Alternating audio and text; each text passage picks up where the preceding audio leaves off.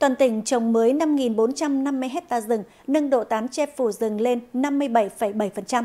Đây là những mục tiêu phát triển lâm nghiệp cụ thể mà tỉnh Lào Cai đặt ra trong năm 2022.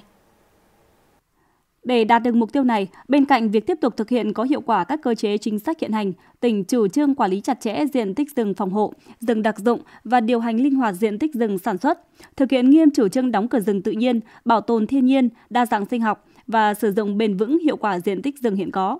Bên cạnh đó, tỉnh tiếp tục khuyến khích hỗ trợ người dân trồng rừng gỗ lớn, trồng rừng có chứng chỉ FSC, hữu cơ, phát triển cây lâm nghiệp ngoài gỗ đặc trưng kết hợp với bảo vệ và phát triển rừng.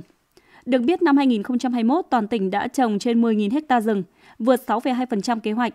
Độ tán che phủ rừng đến hết năm là 56,92%.